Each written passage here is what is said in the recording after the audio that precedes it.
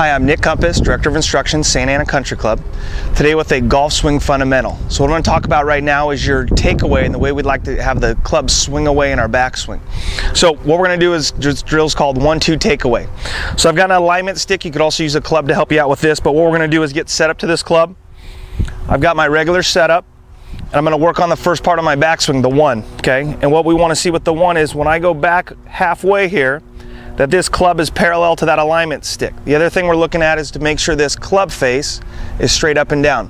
What a lot of players struggle with is as they go back, they'll tend to tip down this way and that club gets looking down to the ground or they like to bring it way into the side here. Okay, so we get going back, our one here is one right here, it's parallel to that alignment stick, the toe of the club up.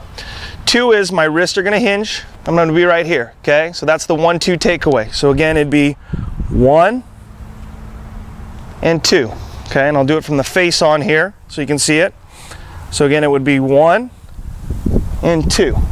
Okay, so that's something you could do in front of the mirror and again with this alignment stick, but if we can get that takeaway better as a fundamental, you're gonna swing the club a lot better. So again, last time walking through that, one, parallel to that club with the toe up, and two right there. If you can get that, that's gonna be a huge help for your backswing.